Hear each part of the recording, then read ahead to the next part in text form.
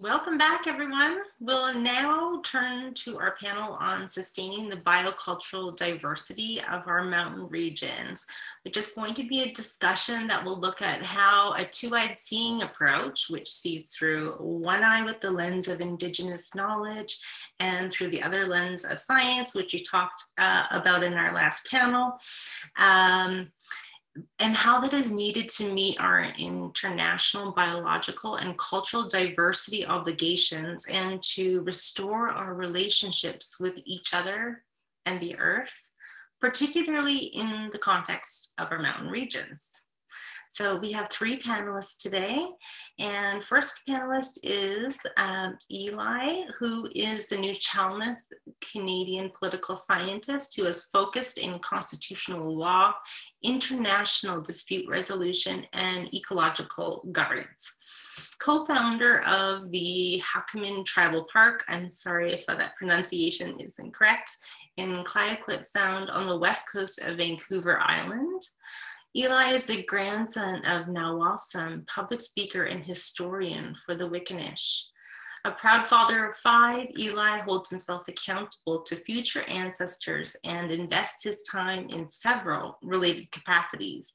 Committee member, Canadian Commission for the UNESCO Man and Biosphere National Committee, Director of Plenty Canada, Business Development Liaison for EcoTrust Canada, and as the North American Regional Coordinator for the Indigenous Peoples and Community Conserved Territories and Area Consortium.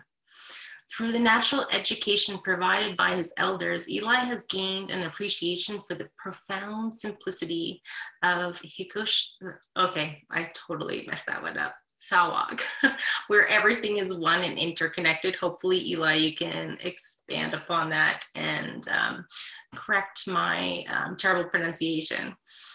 And this concept, he is applying this perspective in his life and work through the pursuit of the common ground, alternative pathways to economic certainty, environmental stewardship, and assertion of Aboriginal rights and title building on experience in a variety of community development areas at the Tyatinis Equilibrium Community Development Site in the Pacific Rim National Park Reserve and at the Opasat in the Meares Island Tribal Park, Eli has developed an Indigenous Watershed Management Area program, which aims to complement an ecological governance approach with a well thought out ecological economics component. Mm. Our next panelist is Dr. Pamela Shaw, who is a 2018 3M Teaching Fellow, Geography Professor, Director of, of the Master of Community Planning Program, Research Director of the UNESCO Mount Arrowsmith Biosphere Research Institute, Senior Editor of the International Journal of the UNESCO Biosphere Reserves, Senior Editor of VIU Victoria University Press, and a Fellow with the Royal Canadian Geographical Society. She's also an elected member of the Board of the Directors for the Canadian Institute of Planning and Vice President of the Canadian Biosphere Reserve Association. Pam has won multiple awards for teaching and is known for creatively engaging students in an applied community-based approach.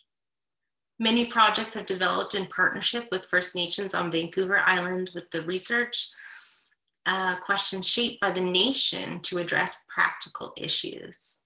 Pam's current research focuses on the human nature relationship in biosphere regions as these regions are intended to serve as model sites for how people can coexist with nature.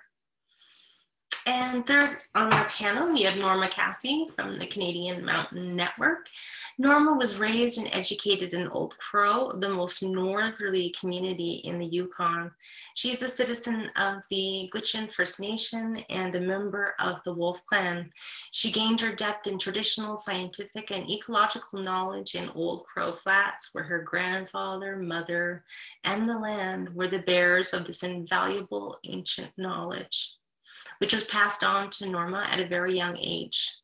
Encouraged by her elders, Norma entered politics shortly after leaving school. In 1985, Norma was elected to Yukon's Legislative Assembly as member for Gwich'in First Nation, a position she held until 1992. During this time, Norma was selected by the elders of Gwich'in Nation to act as a spokesperson on behalf of the Gwich'in people for the preservation of the porcupine caribou herd. From 95 to 98, Norma was the environmental manager for the Council of Yukon First Nations. In this capacity, she headed the CYFN Northern Contaminants Program and was chair of the Center for Indigenous People, Nutrition and Environment at McGill University. In 2007, Norma co-founded the Arctic Institute of Community-Based Research and served as the Director of Indigenous Collaboration to May 2019 to promote community-based Northern-led research aimed at improving the lives of Indigenous and non-Indigenous peoples of the North and promoting the health and their environments. In addition to her role as CMN Co-Research Director, Norma is an adjunct professor in the Faculty of Science at McGill University in Montreal, where she has co-led community-based research and training initiatives focused on climate change adaptation. She also serves as senior advisor to the Indigenous Leadership Initiative, which advocates for Indigenous-led land use planning, guardians programs, and the creation of Indigenous protected areas. So yes, we have a power panel here, definitely. So thank you again to everyone who is joining us for the second panel for International Mountain Day. I am excited to be here and really excited for the conversations that we're going to be having about sustaining biocultural diversity of mountain regions. Now, um, first I wanted to start with Norma. And Norma, I'm wondering if you can um, kind of start us off in a good way and just kind of talk about the two-eyed seeing approach that we discussed, of course, uh, in the last panel, but some people are joining us only for this panel. So I'm just wondering if you can just kind of briefly touch upon that to open up the conversation.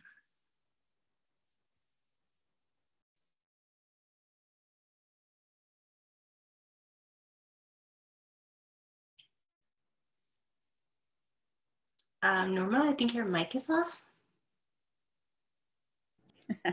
Her famous words, your mic is off. Time. okay, sorry about that. Um, I, I would really like to think about our el, el, uh, elder Albert Marshall, uh, who had really shed a lot of light on two-eyed seeing.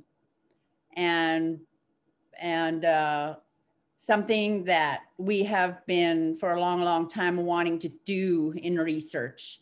Um, the way the elders speak about it and have educated about two-eyed seeing is that we are coming into a place in the world where young people are going to have to be uh, to work together non like non-Aboriginals and academics working together going forward in uh, doing research and collaboration in all levels of what we need to do going forward in our economies, education, research, and all of that. And that's a strong direction from our elders with respect to two-eyed seeing, that those young people have to be prepared and given the skills. And in our way, we call it the pack sack of tools to go forward together and walk together because of the the way of the environment and the way of um, the planet is today. So it's very important that um, the education of youth takes place in collaboration with Indigenous and non-Indigenous youth together. And I think that's really important. That will braid knowledge. They will do research together. They will work together they will understand the history of indigenous peoples on this planet and what we are all about and what we are fighting for at all times so that we wouldn't come to this place we are on right now with with um, with mother earth. So it's it's really important for them to work together and braid that knowledge together moving forward in all levels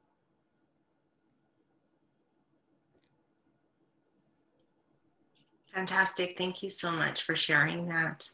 Um, I would really like to go to Pam now and um, Pam, I'm wondering if you can start us off by reminding us of our key international biological and cultural diversity commitments stemming from the Convention of Biological Diversity, the UN Sustainable Development Goals, and other key sources in recognition of International Mountain Day today and its focus this year on biodiversity and to speak how these obligations relate to mountain regions. Um, once again, this is the panel on sustaining the biocultural diversity of our mountain region. So we will be, again, grading the conversations from Indigenous knowledge and ways of knowing to the more scientific education-based approach. And um, Pam, I'm wondering if you can pick up the conversation on those notes.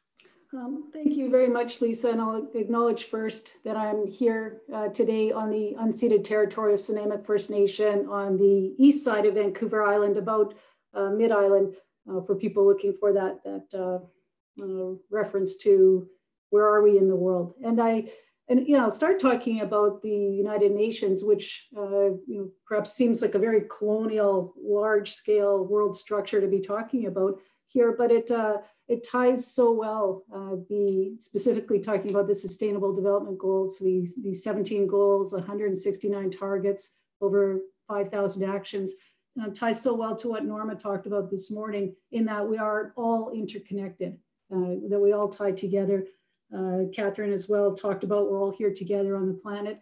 A number of the presenters this morning talked about uh, just how, how nothing can be separated. And I think at its core, that's what the sustainable development goals are all about, that you, you can't talk about social issues in isolation of economics and environmental impacts. You can't talk about um, cultural um, in, in impacts that you're having on cultural practices without also talking about other sectors. So that's what the sustainable development goals are all about is, is pulling all those ideas together under 17 headings uh, for sure. Some are more applicable to mountain environments perhaps than others. So uh, the perhaps easy obvious one is number 15, life on land, maybe life below water, number 14. Uh, we might have to sort of scratch our heads a bit to think how do some of the other goals directly apply to mountain environments, but they do because it's all connected. Uh, we are we are all uh, pulling together. So life on land does tie to goal five, gender equality. It does tie to quality education. Again, to what Norma was just talking about, about uh, learning from each other and really understanding and really hearing. And we can't talk about life on land um, as a goal without talking about education um, and learning.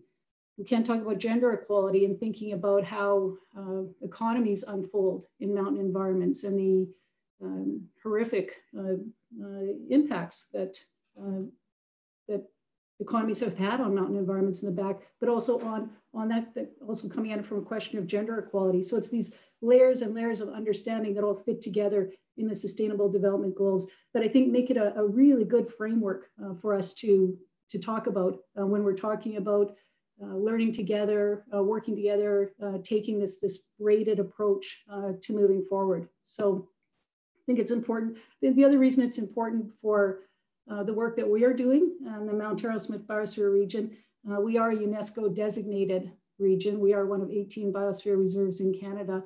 And I do very carefully use the term biosphere region uh, in reference to Mount Arrowsmith uh, because, uh, because of uh, comments from our Indigenous partners um, at the table, at our roundtable, one of the comments that was raised was this idea of biosphere reserves, this UNESCO senior government uh, designated land designation, another imposition on the landscape. Um, the use of the word reserve was problematic uh, for it. So uh, through careful discussions, through um, um, trying to find a better way of going forward, uh, we are now the Mount Arrowsmith Biosphere region, uh, and it uh, very much is in recognition of the, the loads, loaded meaning of the word reserve in a Canadian legal context, um, and also because it's it's the area is not a reserve, it's not a preserve uh, by any any stretch of the imagination, but it is a region, and so it recognizes uh, a number of issues that were attached to a terminology uh, to give better recognition to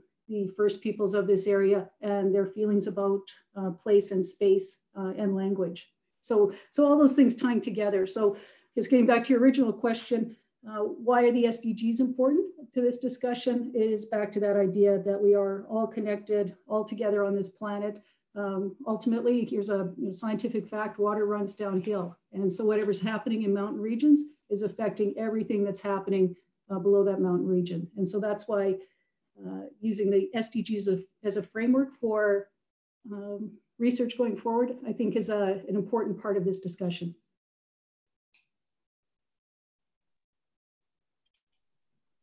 Fantastic. Thank you so much for that.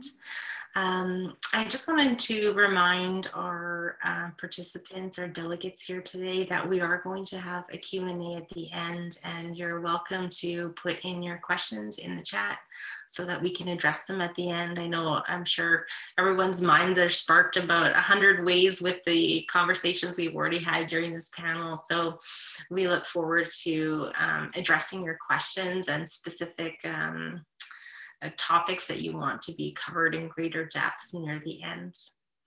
Um, so I wanted to go to Eli now and um, ask him about the understanding of Kuas in the Nuu-chah-nulth language and how that understanding can inform the relationship building that is needed today for what Eli has described as this renaissance of peace and friendship today um, just a side note, this renaissance of peace and friendship really kind of speaks very age of Aquarius to me. So I'm not sure if that's where you got it, but I, I like this idea very much. So Eli, can you expand on that knowledge about everything it's run from the Nuu-chah-nulth perspective? Yeah, thanks, uh, Lisa. And first of all, happy Mountain Day to everybody. Um, that's what this is all about, right? Um, one thing I'll say in answering the question about Kuas um, is as, as Nuu-chah-nulth peoples, uh, it means all along the, the mountains, you know, the mountain range of Vancouver Island on the west westward side down out into the ocean were Nuu-chah-nulth peoples um, all along the coast. And so, um, and you know, uh, this concept of Kuas, it, it's, uh, you know, I mean, I think for some people it might it might come off as uh, as an interesting insight into an indigenous culture, um, but for for myself, it's it has much more profound implications in the way that we think about what is the good life, uh, what what makes a life worth living. Some of the questions that have been asked for many uh, thousands of years. What uh, what determines success? What can we consider success? And um, or opportunity. And i'm kind of riffing off uh, questions that were asked earlier about perspectives on mountains whether this is uh, whether whether you look at a mountain as a sacred place or whether you look at it as a commodity and an opportunity. Um, so when we get into concepts of humanity we start to get into that unspoken um, knowledge that we, we educate our children, we, we socialize them over time. And uh, unfortunately, in modern society, in North American society, human beings are kind of slated into a few different categories. One that's most uh, relevant is consumers. We are all consumers.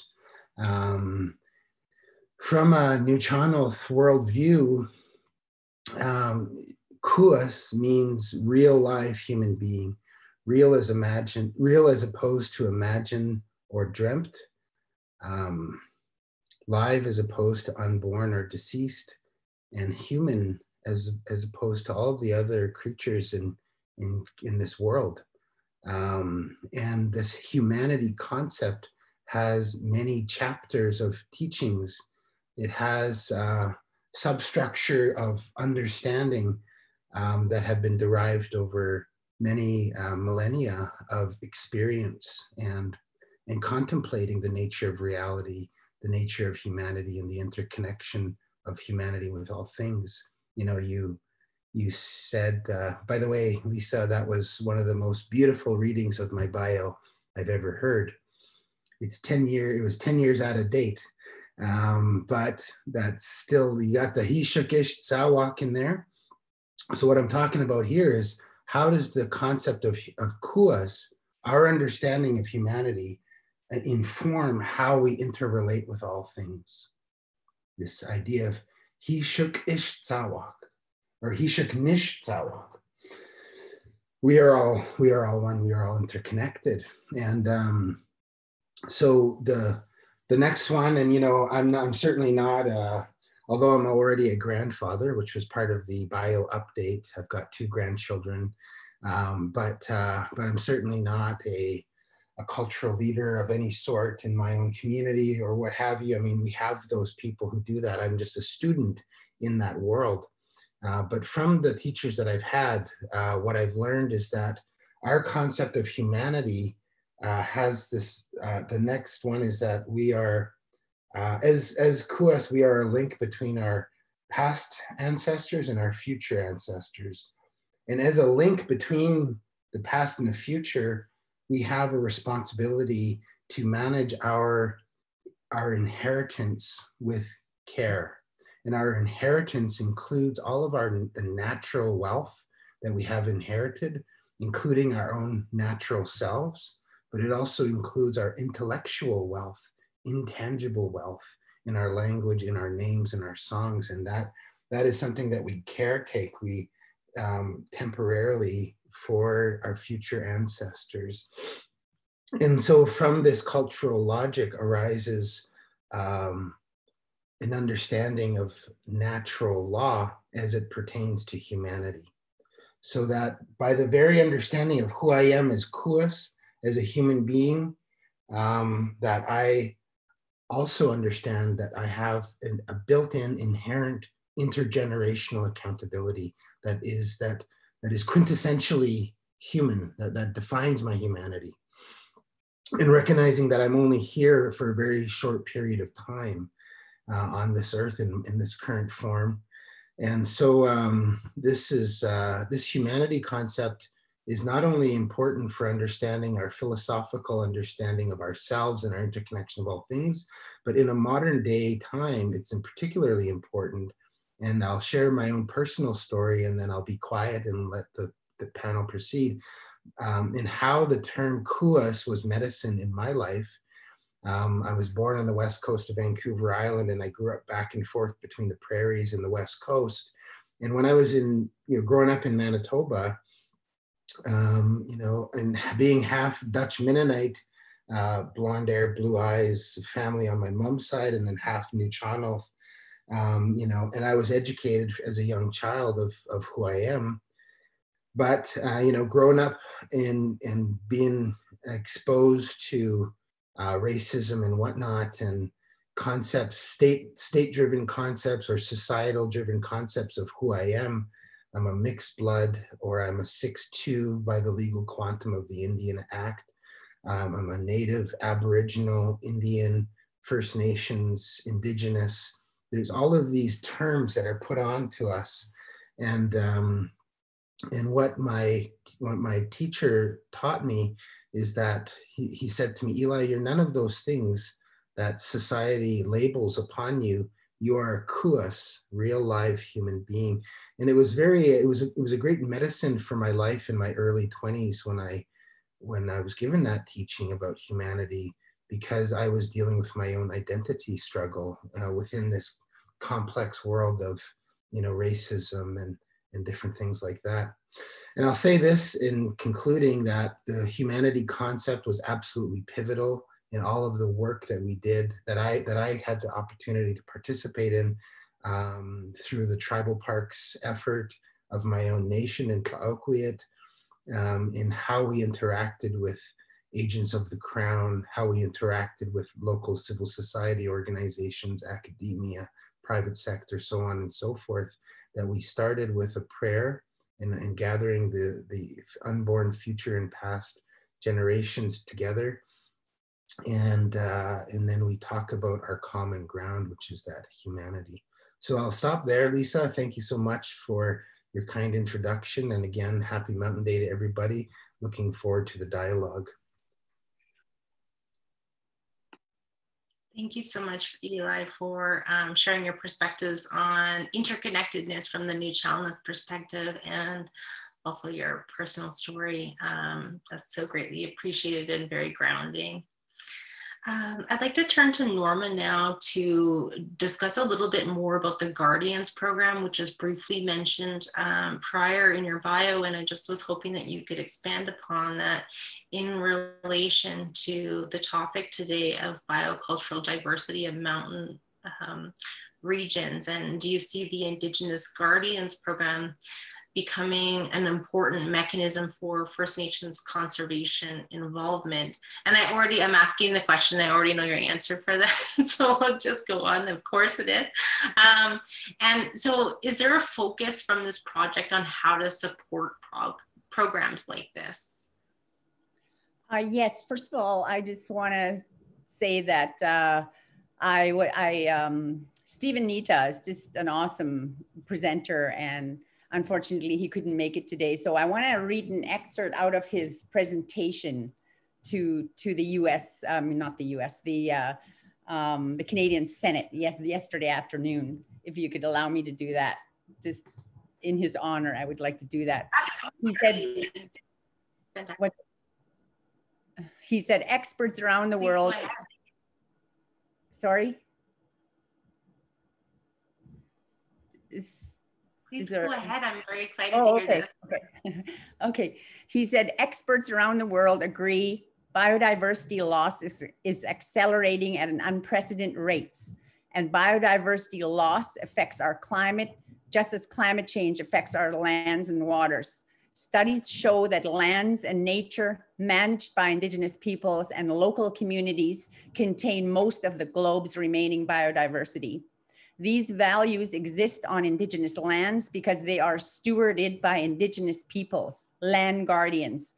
We bring unique knowledge and millennia of experience in managing these areas. Canada has recently announced that it will protect 25% of the lands and waters by 2025 and 30% by 2030. As the Prime Minister recently acknowledged, Indigenous part partnerships are essential to achieving these goals. In fact, Canada can only meet these targets by putting Indigenous led conservation, land use planning, Indigenous protected conserved areas, and Indigenous stewardship and guardianship programs at the very heart of its nature conservation strategy. We are already working together and leading the way in helping Canada to achieve its biodiversity conservation targets. The vast majority of new protected areas in recent years have been designed and established and managed by and with Indigenous communities. So that Steven Nitah's, I took that message out of his presentation yesterday just because he's he's supposed to be in my place, which would have been awesome too. But I hope he's feeling better. Um, and, and with your question, land guardians are growing across the country. Uh, it was a huge um, endeavor that started in Australia it, it, it started also in Panama and it's now working its way uh, across Canada in a very incredible way. So um, basically what's going on there is indigenous, young indigenous peoples, men and women are being trained by indigenous knowledge from their own peoples in their own homelands on how to conserve our biodiversity within our areas, in our spaces. And they're also trained by biological science as well in collaboration. And these young people are the eyes and ears on the ground looking after these territories. And as they work the land and walk in those forests and walk along the riverbeds and in the wetlands, the animals become alive. And, and it's really phenomenal the way they interact. They watch the climatic changes out there they bring home the messages that they see about the animals. Are they healthy? Are they doing okay? What did they look like? They bring that message back to the communities, to the elders, have a discussion. And as a result, it's, it's um, more stronger laws of indigenous conservation are coming out in these areas where there are land guardians. And it's, it's absolutely incredible. And we would like to really push that campaign and move that campaign into the rest of the world for sustainability. like areas like such as um, Guatemala, Peru, Chile, Australia, Brazil, places like that, people are still um, being massacred and killed for stepping forward to to fight for their biodiversity. And you know, this is this kind of thing has got to stop. We also need to be at the table with the United Nations, UNESCO, IUCN, and those organizations as as Indigenous peoples right up front, like immediately actually. And we need to be recognized for that. Um, and also our research. Our research will be absolutely important um, going forward um, in all of this. And uh, yeah, so I just wanted to to speak to those issues um, as well in all of this. And uh, and uh, yeah, thank you. Fantastic. Thank you so much for sharing those words from Stephen as well, who of course couldn't be here today. That is uh, an amazing excerpt and really builds the conversation moving forward. Um, now, I wanted to um, build on what you had just mentioned about having Indigenous people at the table with um, within multiple organizations and within research and within on the land um, guardians work. And Pam, I'm wondering um, if I can get your perspective here because you've done a lot of work with UNESCO Biosphere Reserves as the research director of the UNESCO Mount Arrowsmith Biosphere Research Institute, and you were the senior editor of the International Journal of UNESCO Biosphere Reserves. Um, I'm wondering uh, if you could first sort of expand on your experience on having Indigenous participation and knowledge within um, those realms and maybe some key takeaways that you have from from those experiences. Um, thanks, Lisa. Uh, could, so the, uh, the Mount Arrowsmith Biosphere Region Research Institute, uh, um, our research agenda comes from the members of the Mount Arrowsmith Biosphere Region Roundtable. And so this is the roundtable that is the governance body for the Biosphere Reserve, one of 18 of these uh, entities across Canada. So it's a very different kind of governance structure. Uh, it's um, First Nation, uh, First Nation, Qualicum First Nation, Vancouver Island University, Town of Qualicum Beach, City of Parksville, uh, local tourism association, local chamber of commerce, uh, uh, forestry company uh, that owns about 90% of the land base that is in the biosphere region as well. And so we, we sit around a round table as partners. And in the center of the table are the, the common, it's the common purpose of biosphere reserves, which is conservation, sustainable development, and research and education. And so that's that's the common purpose that holds us all together. So it's it's not an organ, there's no hierarchy, there's not a membership, there's not a, a fee to be involved. We're all sitting around this table because uh, we recognize there's something very special and fragile about this place and particularly about mountain environments that, that everyone who's at the table cares about. So that, that holds us together. The partners uh, sitting around the round table are the ones who say, uh, here's what the issues are that are important to this community. So it, the Research Institute works very much on community-based applied research with the questions created by the partners at the table. So we work with uh, First Nation, Qualicum First Nation, uh, First Nation on a variety of projects that are, it's not, um, I guess I would liken it to, it's not uh, uh, perhaps a traditional form of academic research where I come up with a question that I'm interested in, and then I proceed with my, my research in whatever way um, I see fit. I don't involve a local community. I'm not working with the First Peoples um, of that place. You know, in this, this kind of more traditional academic approach, we are, we're trying, to, we are working very hard to completely flip that narrative. And so every project is working with uh, one of the speakers this morning mentioned as well, the idea of uh, for uh, working with um, First Nation communities for us on, on Vancouver Island, uh, know about us without us. So that no project proceeds without a partnership. And if that partnership isn't in place, then the project doesn't proceed. Um, that's that's what it is. It's then perhaps that's uh, maybe it's a project for another day, or maybe it doesn't happen at all. Uh, that's that's the approach that we're taking. And so uh, why why I think it's so important, and Norma, you touched on it, is it really does tie uh, to education and and you know, my first agenda is to get students involved in education, uh, working in partnership uh, with Indigenous communities, uh, bringing uh, bringing that bright-eyed, bushy-tailed energy of students uh, and all their um, you know all their their enthusiasm and energy to get things done, but also they're working on things that are important and of interest to our partners on the project, to our Indigenous partners or our community partners, and so it.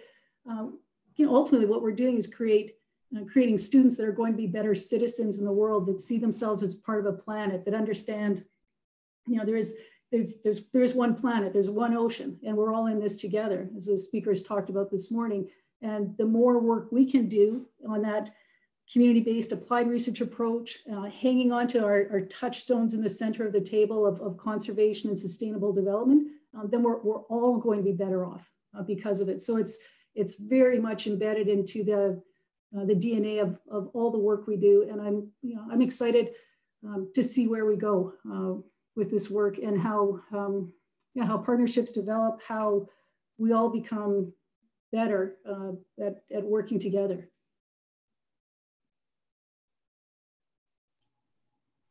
Fantastic. Thank you for sharing that. Um, I like those ideas of the common pillars in between everyone that's around the table. That's such a beautiful concept and a really great visual capture for us all to be able to understand that. Um, the approach so easily. Thank you. Um, so I want to turn to Eli, back to Eli now um, to expand upon this idea about um, Indigenous protected and conserved areas. Um, now, Eli, I know you have experience in working to develop and establish and oversee these IPCAs, and I'm wondering if you can uh, talk about how these areas not only conserve biodiversity, but are sites in which the relationship between Indigenous peoples and Canada as a whole can be changed, in which the self-determination of Indigenous peoples can be enacted. Mm. Eli, can yeah, you share on that? What, what, was that, Lisa? Sorry, there's just anyways. Uh, I had a, I was wondering if you could talk about yeah, um, okay, sure. yeah. indigenous protected and conserved areas in your territory and your experience mm-hmm. in that and yeah. how those are used to assert sovereignty. I guess uh, a good starting point is to say that um, the erosion of biological diversity in Canada, as, as similar around the world, has gone hand in hand with the eradication of languages and cultures. And so there's a parallel extinction event happening the extinction of languages and cultures and the extinction of biodiversity. And so IPCAs, generally, broadly speaking, offers an opportunity to correct course, uh, to look at the importance of indigenous knowledge systems that have uh, accrued over millennia in properly governing and managing um, our, our territories, our lands. And so that, that one I think is a really key take home point. Um, and when you ask about the sovereignty side of things, um, what I'm reminded of is the quote from uh, late William Commanda, which is that we exercise our rights through taking care of our responsibilities. And so IPCAs is very much in that vein of taking responsibility. It's not so much about asserting rights. Rights are important. Um, the conversation about rights has happened, um, and it is a very important uh, conversation. The elders have told me that we have to look at our responsibilities. They say that you know rights and responsibilities are two sides of the same coin. And so uh, when we talk about sovereignty or exercising jurisdiction, what often comes to my mind is this indigenous concept of a grandmother's authority. So in many indigenous societies, as, as well as non-indigenous societies, maybe in, to different degrees, um, grandmothers hold a particular position of, of authority in the family. Um, and she has a unique just like the mother bear in Nuu-chah-nulth, in our in our law system, the, the bear represents that that taking care of responsibilities, the, the mother bear, because she has her boundaries. She has her boundaries, and you know what? We know that if you are in the forest and you see a baby bear, you know that mama bear is nearby. And she, in her boundary, extends to her children, her babies and her grandchildren. And so the grandmother's authority is one of responsibility that uh, she ultimately has the responsibility for the well-being of her grandchildren and great-grandchildren. And so if, uh, if her children and grandchildren are coming within harm's way, um, that she has the, the uh, authority to intervene with a, with a firm but loving hand. Now, I use those words very intentionally because sometimes that uh, intervention might mean uh, smack upside the head for, you know, her son or child that's not, uh, you know, that's lost sight of what's most important. But, but she will not lose sight of that. And so um, when I think of sovereignty as, as um, as described to me by elders when we're talking about indigenous protected and conserved areas, that's what I think of. And in terms of ushering in a renaissance in peace and friendship, what I want to say about that is I want to acknowledge our Wolastoqey uh, sisters and brothers out in the east, um, Eastern Gate. Um, there's a poster on the wall of the Maliseet Conservation Council in Fredericton that has really stayed with me, an image on that poster. And it's a circle that's divided into four quadrants and it represents time. It's a temporal depiction, a visual to, to, um, depiction of time. Um, and the first quadrant is of first contact and that early indigenous diplomacy that happened the diplomacy by our people when, when welcoming a new, a new peoples who, let's remember, were dependent upon our people. When they first arrived, there was a cultural logic that was in place that could, that could receive these newcomers. And, um, and that was the era of diplomacy, indigenous diplomacy. The second quadrant uh, next is the era of treaty making and let's bear in mind also that um, the Wolastoqey and other indigenous peoples, the Haudenosaunee and others who were um, key actors in the early days of um, geopolitical formations in North America with the, the French Canadian, the French British War, the, the war, the Seven Years War, um, and the War of 1812, that um, during that time there was a well established pre existing uh, heritage of treaty making.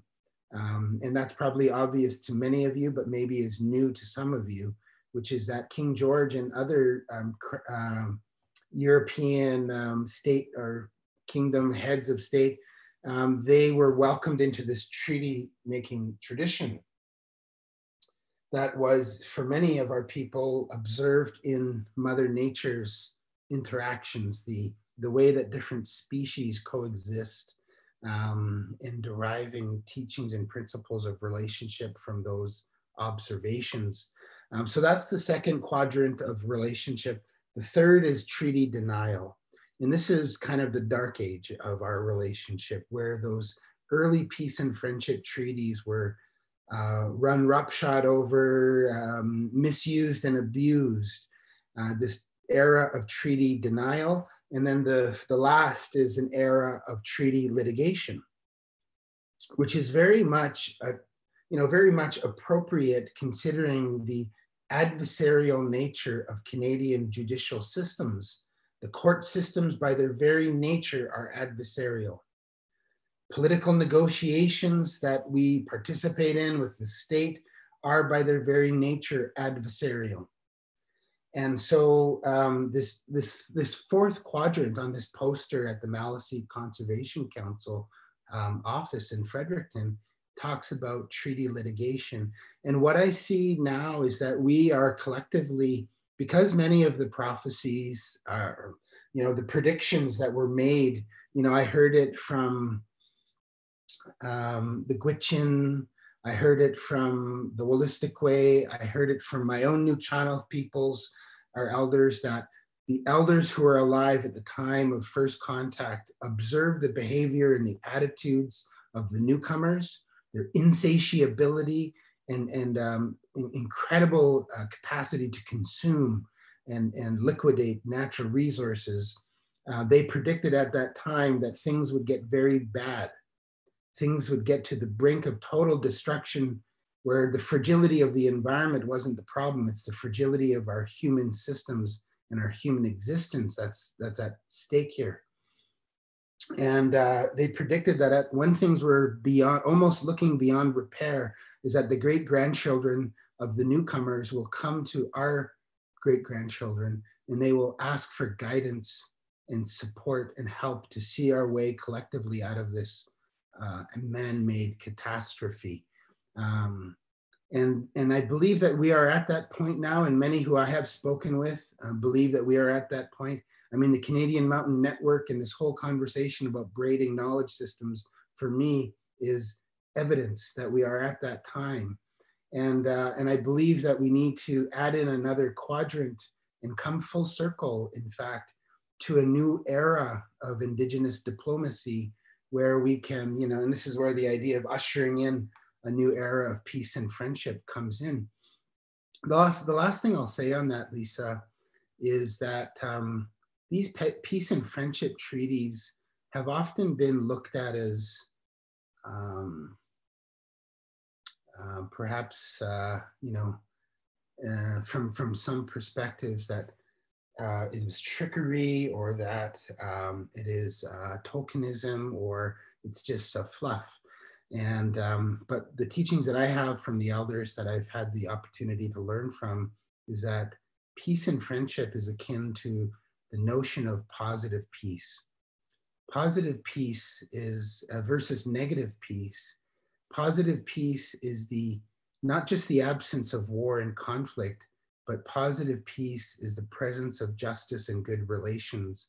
And what some of our some of our um, folks call Zagindawin, and I'm kind of drawing from a, a teaching from Dr. John Borrows that I had had received about abundance and love and that um, in these peace and friendship treaties were sophisticated ideas of bioregional economics and peaceful commerce, as well as collective security, which the United States of America founding fathers tried to emulate in their in their um, in their uh, independence from the crown and this notion of collective security among many states. Um, in the Haudenosaunee Confederation, uh, brought that concept to them as well as others. But uh, I just don't want to stray too far from the point that you know we're talking about very uh, simple but elegant understandings of relationship that are designed to stand the test of time as long as we continually reinvest in those relationships. And the Tyendinagas of uh, the, the, the Mohawks of the Bay of Quinte said this very eloquently in their letter to the Crown last year, which was read openly earlier in 2020 when the blockades were rampant, which is that we have to get together and polish the silver covenant chain to um, to keep our relationship bright and new when from time to time it becomes tarnished. So I'll end there and thank you so much for the question, Lisa. Fantastic. Thank you for sharing those four quadrants and that uh, sign. It's so amazing how you can see something so simple as a poster in an office that can um, actually teach you so much and help you expand upon the knowledge that you already have. Um, I do think that there needs to be another um, quadrant or uh, not another quadrant, but another um, offshoot to that so we can get post treaty. That's just my personal belief. but I uh, love the idea of unity and everyone coming together um, from like from a human perspective, not an indigenous and a non-indigenous perspective, but like just a human perspective coming together for the goodness of all. Um, I really do hope that we're really moving in that direction in such a good way. I actually want to bring in Miles Richardson right now because we did have that discussion about treaties briefly there, and uh, Miles, of course, has an experience with experience with the Treaty Commission in British Columbia, and just wondering if you can kind of touch upon those. Um, relationships and how we can move forward to um, to use those um, for the betterment of all to sustain our biocultural diversity in mountain regions, but also the environment as a whole and asserting sovereignty. So just a small question there for him, Well, I've, I've always thought like Eli has been articulating that um,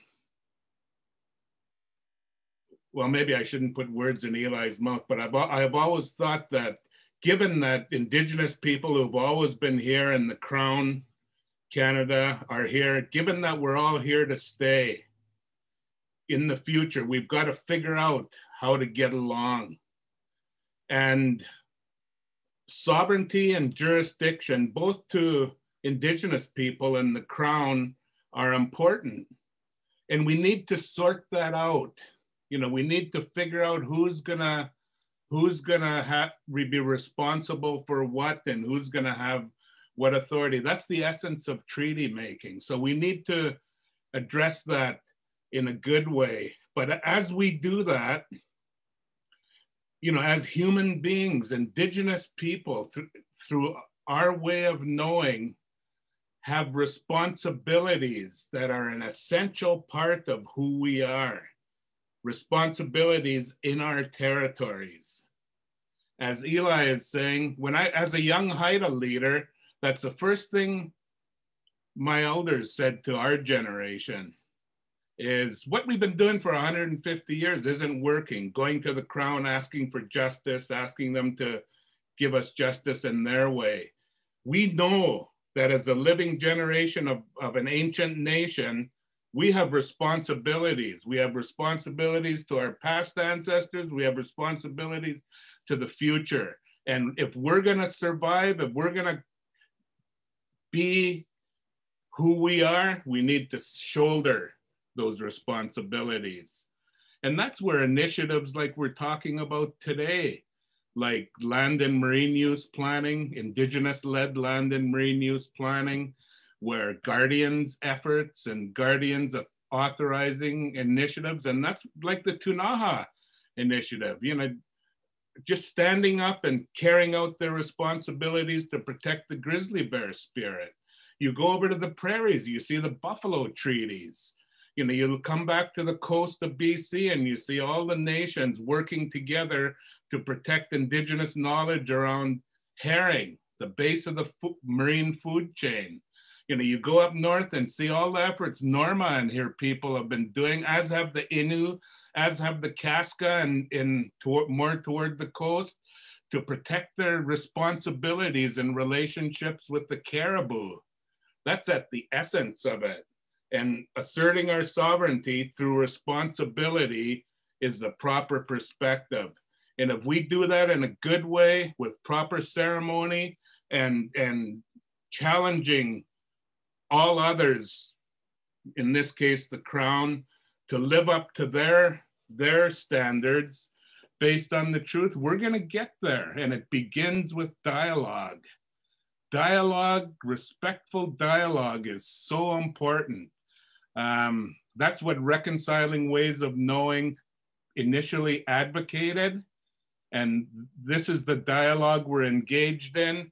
And we're expecting that that's going to lead to a, a, meeting of the minds and even come up with some policy um, direction that's going to help us to deal with some of these huge challenges we have in front of us. Climate change biodiversity loss all those things. And it you know it, and that's the essence of treaty making it's a process. It's not just an event. Absolutely. Thank you so much for building upon that knowledge, Miles.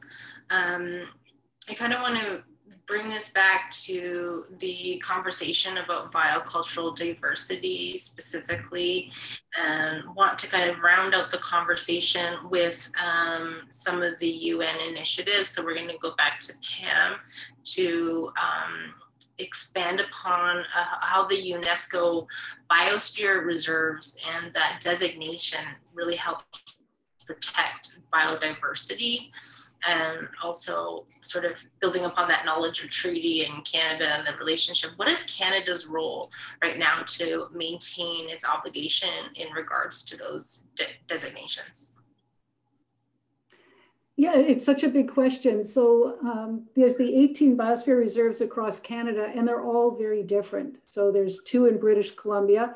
Uh, one is Mount Arrowsmith on the east side of the island. The other is our, our more famous sister, uh, Clayoquot uh, Biosphere Reserve on the west side of the island. So it, uh, um, ours is, um, our biosphere is, is over 90% privately owned land. Uh, Clayoquot the sound is, is uh, roughly the equivalent of the Pacific Rim National Park. And so it's uh, two very different places uh, for it. The other biosphere reserves across Canada are very different places. But you know, Canada is part of that partnership uh, working with the United Nations that, that designates these very special places and you know says there's something special and important about this place in the Earth's surface. So uh, I would say that's that's one of the initiatives Canada has. But Eli's touched on one that's so critically important is the commitment that Canada has made to protected and conserved areas, the 30% by 2030. So, so the federal government has made a commitment around this, this, um, you know, this number that we've you know, pronounced a number, uh, not unlike the, the carbon emission uh, commitments that the federal government makes or, or, or others around climate crisis that the federal government might make. But uh, um, the one that Eli was just talking about, the 30% by 2030 cannot be achieved. And the federal government has, has, has come out and said we cannot achieve this without uh, real partnerships with Indigenous peoples from across Canada. And so, uh, so you know, I, I, think sometimes we might be, um, you know, perhaps feeling a little cynical about it that we set these targets. We have 17 sustainable development goals and the, you know, over 5,000 actions. And you know, you know, perhaps sometimes we might um, well, say, well, I don't see how this applies uh, to me as an individual or to my organization or to my to my family to this uh, place where I am. But it's uh, but it's all of it's all of these things. It's it's setting out um, great lofty ideas and then finding a way to work toward them. And so um, Eli, Eli and I are, are working together right now,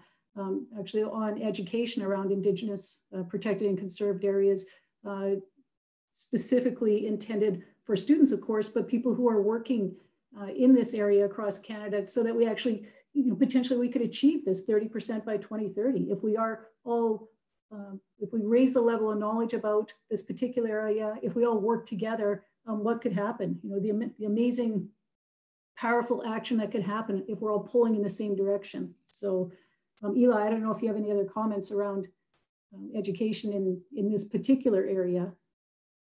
Yeah, so we're, thanks Pam, we're developing the IPCA planning certificate um, at uh, the Vancouver Island University and the um, planning program that Pam leads. And, um, you know, we're, and that's part of the bigger conservation through reconciliation partnership, but certainly, um, you know, like through the ICE process, we identified the four moose, the four moose in the room. And one of them was around capacity development and uh, and so that we don't end up with um, stranded assets and that we look at um, what are the needs of the community in order to be able to uh, truly, you know, you know, be self-determining. So, um, thanks. Wonderful. Thank you both for adding to that conversation. Um, I have a comment here from, or a comment or a question rather from the from a participant, and this is directed towards Pam, and this kind of steers the conversation a little bit of a different way, but I think is really powerful, uh, personal, grounded way. Um, so Noella asks or says this that a word that comes up for me in listening to the powerful speakers and panelists is well-being.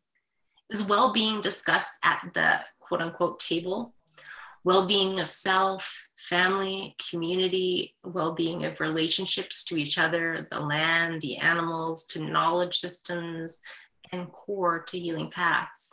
Is well-being part of the language of these projects? And so projects is sort of a broad term here, but normally you have such a um, a web of knowledge and outreach in many different projects in many different areas um, from all across Canada.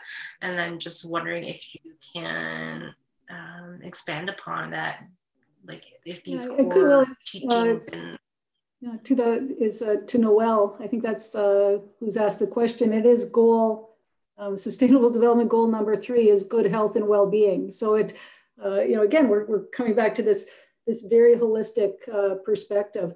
Um, it it um, so informed by the sustainable development goals, but I mean ultimately that we're we're talking all of those goals relate to the idea of well-being. It is a foundational idea um, that it has to be uh, well-being of, of people, of the planet, uh, of prosperity, of place, of partnerships, um, the well-being of all, all of those five key areas that help to shape the sustainable development goals. That's, that's what holds us all together. So we can't, um, we can't be sick in one area um, and say that we're doing well in any other area. So we can't, uh, we can't have you know, sickness in relationships among people and say, oh, you know, but we're doing okay on peace. I mean, it's, it's impossible for those two statements to be true. And so yeah, I think Noel's hit on something really important about that. That is that foundational uh, element that perhaps pulls us all together is this idea of, of, of it has to be well-being for all and for everything, for every aspect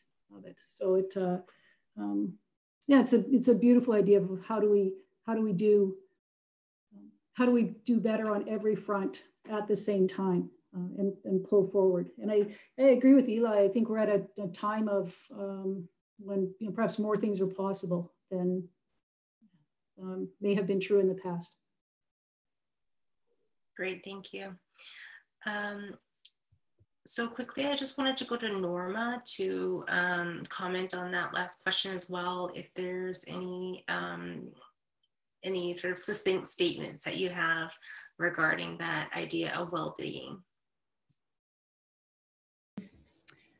Yes, I do. Um, for every, for in my culture, and I think it's uh, in relation to many indigenous cultures, um, our main existence and the paths that are chosen or we choose are going to have relevancy for the future generations.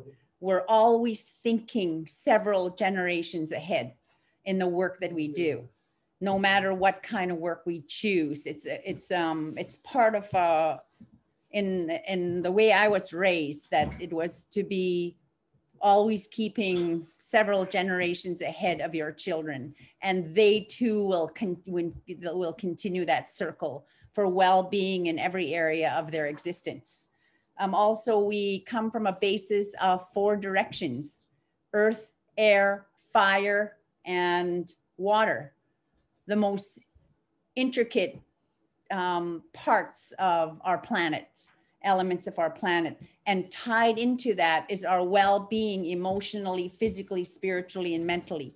And if she is not well in those four areas, either one of them, earth, air, fire, and water, then we are not well um, as peoples.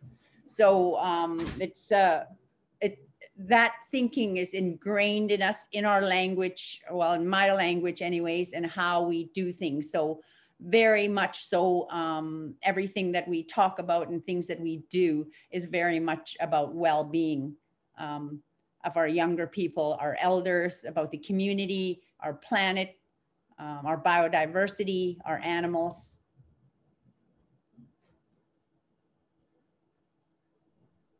Fantastic. Thank you so much for bringing that forward. Um, so I'd like to turn, we're just getting to the end of the panel here, and I'd like to turn to Dr. Murray Humphries, um, who is the convener for the Canadian Mountain Network to um, bring a few closing notes to this panel um, as one of the two organizations that came forward for the panel today. So um, Dr. Humphries. Thanks very much, I'm pleased to be able to offer a few closing remarks as co-research director of the Canadian Mountain Network. Uh, on this International Mountain Day, I'm connecting to this event from McGill University in Montreal, situated on the traditional territory of the Kanien'kehá:ka. Um, on this International Mountain Day, we recognize that mountains are defined by diversity, a diversity of topography, a diversity of physical landforms, a diversity of ice and snow and water, a diversity of wildlife, and a diversity of peoples, knowledges, and livelihoods. Wherever they occur, mountains are diverse and place-based research and place-based knowledge brings all that diversity, complexity, and connectivity into clearer view. Uh, the Canadian Mountain Network supports the resilience and health of Canada's mountain peoples uh, and places through research partnerships based on Indigenous and Western ways of knowing that inform decision making and action. And together with the Canadian Mountain Assessment and Reconciling Ways of Knowing, we hope that we're on the cusp of what Eli Enns just suggested a few minutes ago might be a new quadrant, uh, an opportunity for positive peace, focused on advancing Indigenous-led research and multiple ways of knowing uh, at a time when Canadians, uh, Canada's mountain systems are undergoing rapid and uncertain change. So it's an opportunity and a challenge that's bigger than a mountain um, and depends on all of us and our ability to learn together well. So I want to thank all the panelists sincerely for the guidance and the insight they've offered us today and hope that, that we at the Canadian Mountain Network can embody these principles and approaches across our network. Thanks very much. Thank you, Dr. Humphries, for those words. I'd also like to invite Miles Richardson to um, bring a few closing words as well to this panel. Miles?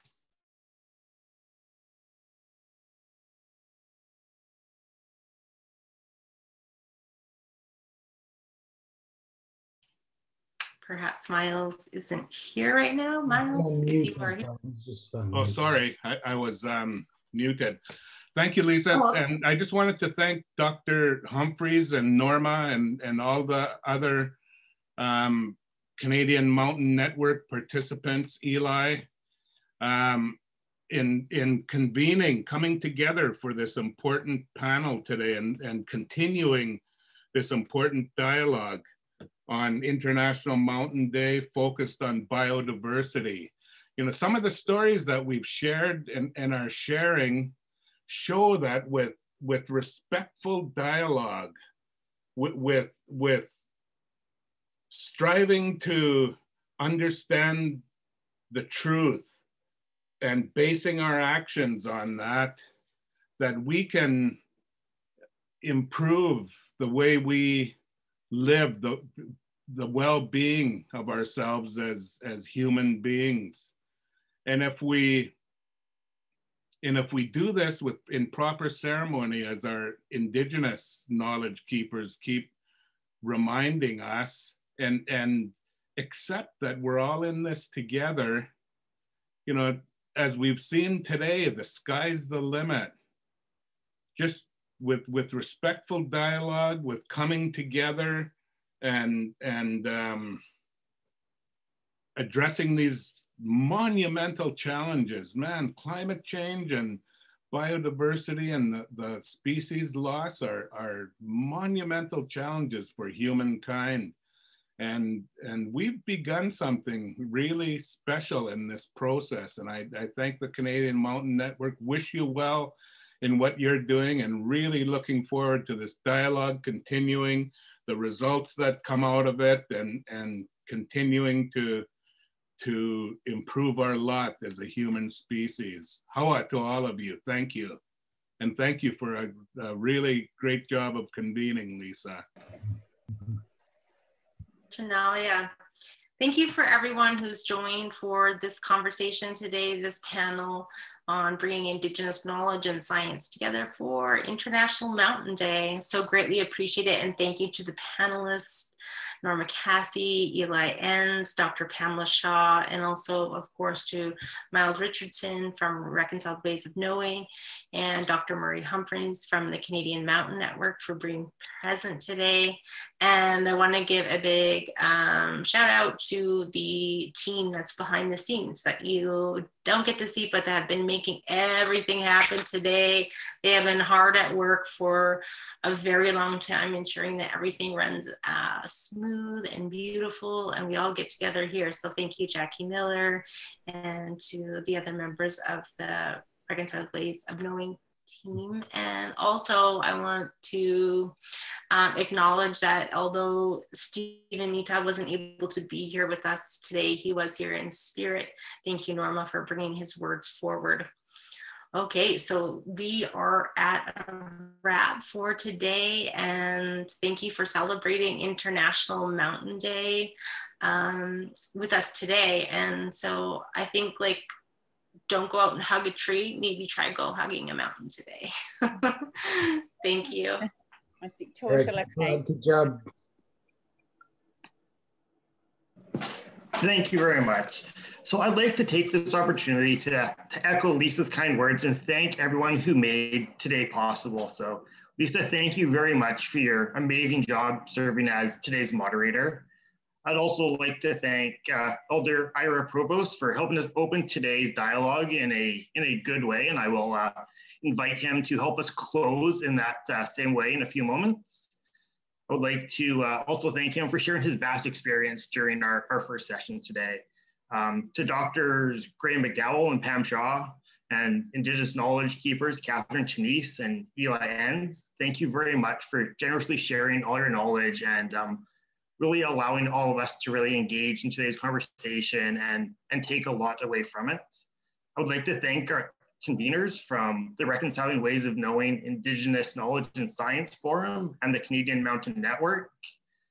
I'd also like to thank you know, the maestros of the uh, Reconciling Ways of Knowing team who helped make all the technology come together today. And most importantly, I'd like to thank everyone who was able to join us. It was uh, you who really made today's event a success. So I raise my hand to, uh, to all of you. I would like to thank our friends and the co-hosts today from the Canadian Mountain Network who invited us to join their celebration of International Mountain Day. The Canadian Mountain Network's tireless efforts support the resilience and health of Canada's mountain places and people through the research partnerships based on Indigenous and Western ways of knowing that inform decision making and action, if you'd like to learn more about the Canadian Mountain Network, you can find it on their website at www.canadianmountainnetwork.ca. We will be sending out a brief survey shortly. It would be greatly appreciated if you could take a few moments to share your thoughts with us. The Reconciling Ways of Knowing online forum series will be continuing into the coming months and new year. Please join us in January as we explore the role of spirituality in our connections with the land and each other. Additional information about this dialogue will be available shortly. If you haven't already done so, please visit our website at www.waysofknowingforum.ca to sign up for updates and follow us on LinkedIn, Twitter, and Facebook. I would now like to invite Elder Ira Provost to help us close today's session and thank everyone very much.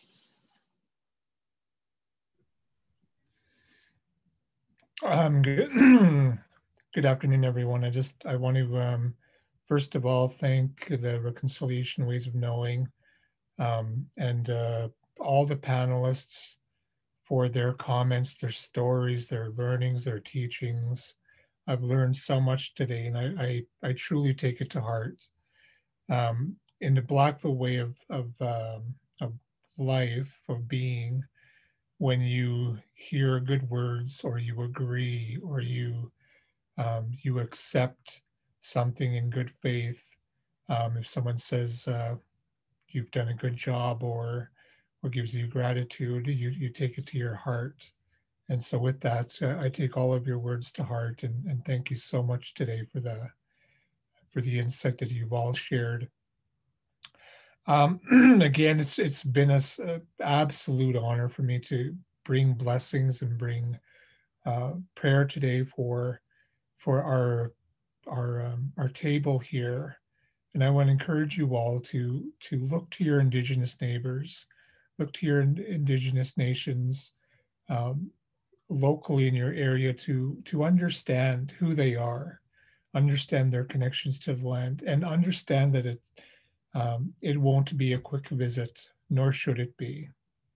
Um, I really do want to applaud all those who helped put this day together and um, encourage you all to continue in a good way going forward.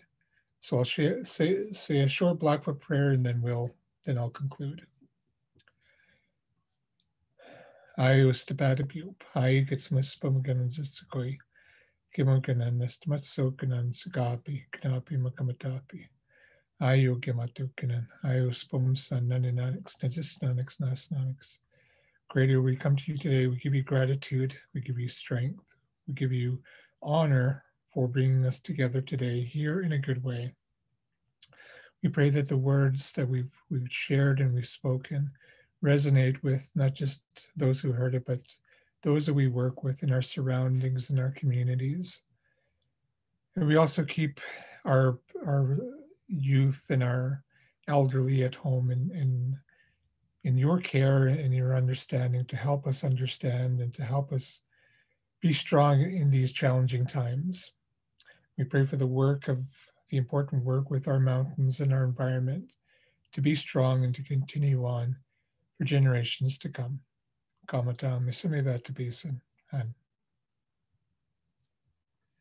Thank you.